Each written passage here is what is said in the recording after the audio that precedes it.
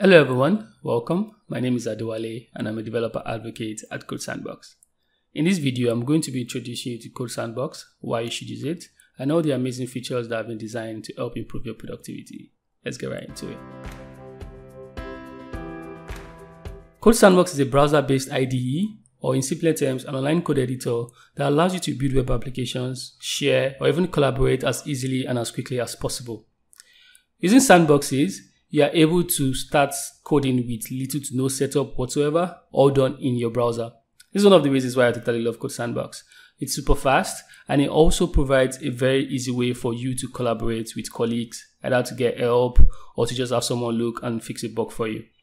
At this time, Code Sandbox supports both your browsers and also iOS, and you can build from anywhere on the go. To get started, all we have to do is create a sandbox. And to do this, we are provided with an array of options on how to get started as quickly as possible. These are some of my recently used templates as you can see, I'm in love with Vue, but you can also check out some of the official templates that we are provided. You can use this to try out new frameworks or even just continue with the frameworks you are already familiar with. You have access to React, Angular, Vue 3, or even just go the vanilla route and build your own setup as you want it to be. You can also import your project from GitHub either by using the URL here or also just from the GitHub website itself. We'll get right to that in another video. For this video, we're going to create a sandbox using the Vue template and get right and see how quick it is to get started. Right now, Code Sandbox is basically setting up everything I need to get started with Vue. Uh, it's installing the dependencies as you can see, and I have all of the files already provided for me on the left here.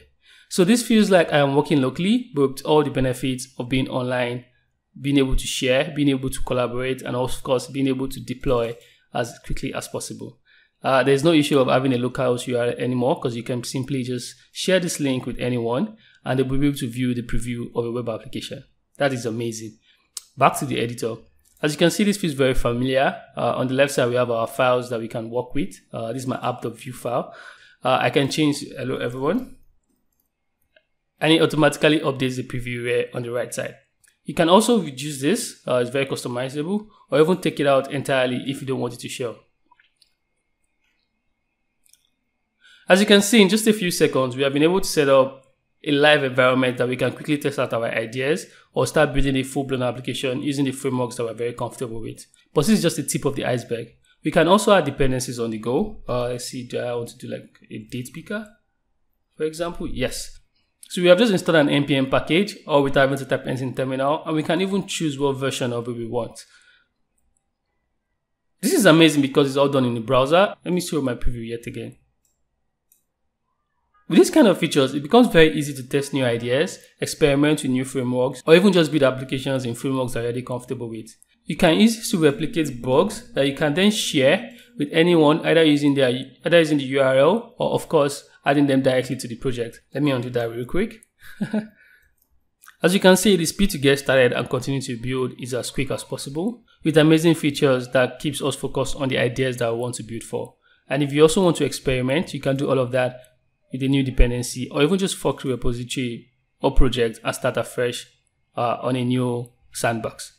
Code Sandbox comes with some additional features that can make this entire development process as seamless as possible. You are able to search your sandbox for other files. You are able to configure your files by installing configurations, either you want to deploy, deploy to Netlify or to Vercel, you are able to import, export to a GitHub repository if you start the project here and you want to still have the repository as well on GitHub, you can do that.